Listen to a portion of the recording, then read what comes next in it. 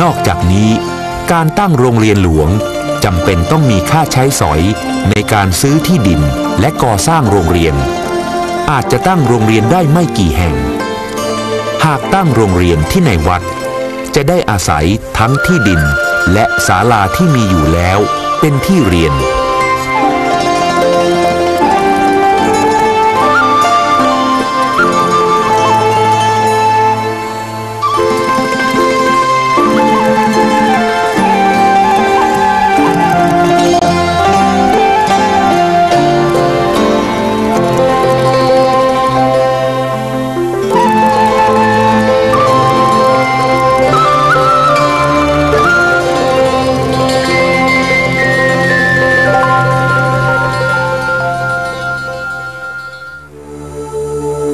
ระบาทสมเด็จพระจุลจอมเกล้าเจ้าอยู่หัว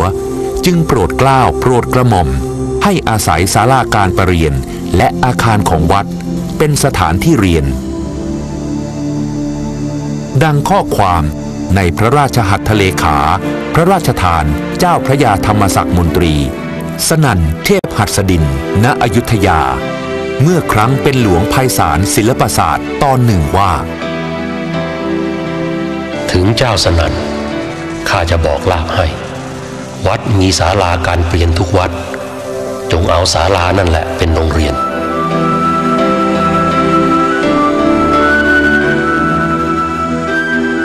ด้วยพระราชดำริดังกล่าว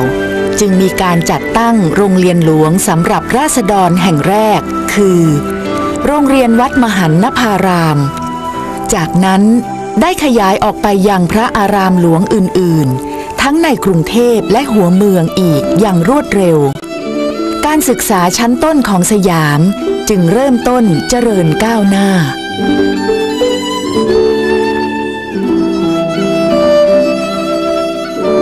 การจัดการศึกษาในระยะแรกในรัชสมัยพระบาทสมเด็จพระจุลจอมเกล้าเจ้าอยู่หัวนั้นดำเนินงานโดยกรมทหารมหาดเล็ก ต่อมา เมื่อการศึกษาขยายตัวมีโรงเรียนมากขึ้น จึงโปรดให้จัดตั้งกรมศึกษาธิการขึ้นทำหน้าที่เกี่ยวกับการจัดการศึกษาโดยเฉพาะ ในปีพุทธศักราช 2430 โปรดเกล้าโปรดกระหม่อมให้พระเจ้าน้องยาเธอกรมหมื่นดำรงราชานุภาพ เป็นอธิบดีคนแรก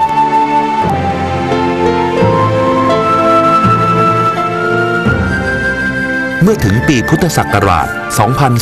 2432 โปรดเกล้าให้กรมธรรมการ กรมศึกษาธิการ กรมพยาบาล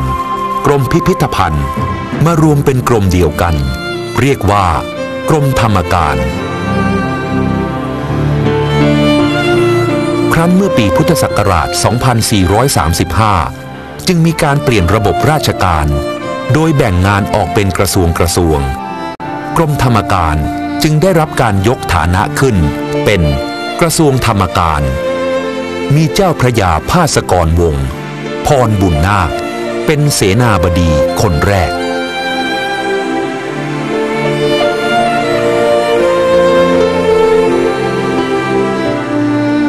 ภายหลังจากการเลิกทาสแล้ว ได้มีชาวนาเกิดขึ้นมากมาย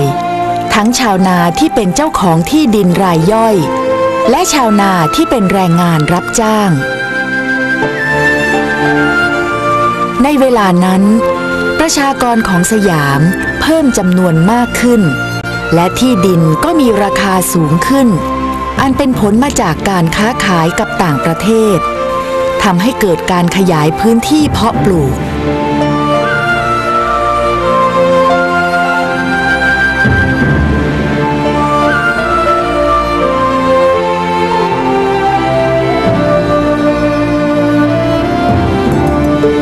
ษฎรต่างจับจอง และหักร้างถางพง พื้นที่รกร้างว่างเปล่าตามใจชอบ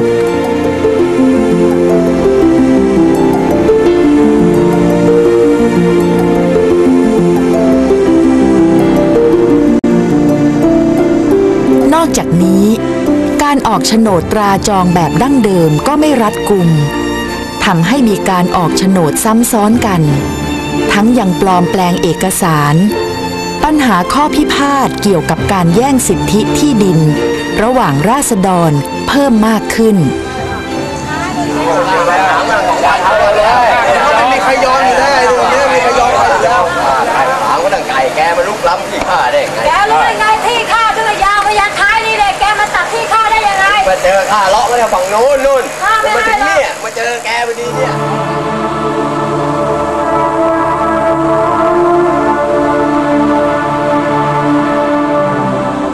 าทสมเด็จพระจุลจอมเกล้าเจ้าอยู่หัว ทรงตระหนักในความเดือดร้อนของราษฎร ในปีพุทธศักราช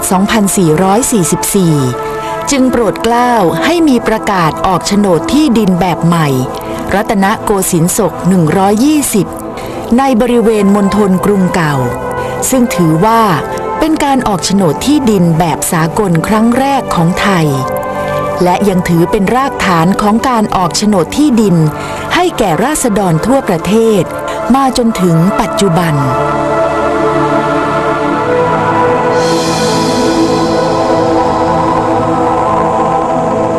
นับตั้งแต่พุทธศักราช 2411 จนถึงพุทธศักราช 2448 เป็นระยะเวลาถึง 37 ปี ที่พระบาทสมเด็จพระจุลจอมเกล้าเจ้าอยู่หัว ทรงเลิกทาสจนสำเร็จลุล่วงโดยสันติ ปราศจากความวุ่นวาย หรือการสูญเสียเลือดเนื้อ ดังเช่นที่เคยเกิดขึ้นในประเทศอื่นๆ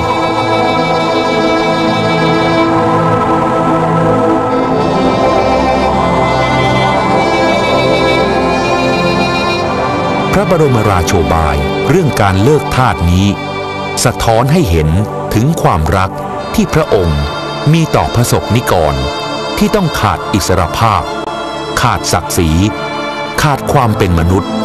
ให้ได้มีโอกาสเท่าเทียมกับคนทั้งหลายในแผ่นดิน นับเป็นคุณโอปการอันใหญ่หลวงต่อปวงชนชาวสยาม และจารึกสถิตอยู่ในใจของราษฎรเสมอมา ดังพระราชสมัญญานามที่ว่า สมเด็จพระปิยมหาราช พระผู้ทรงเป็นที่รักยิ่งของชาวสยาม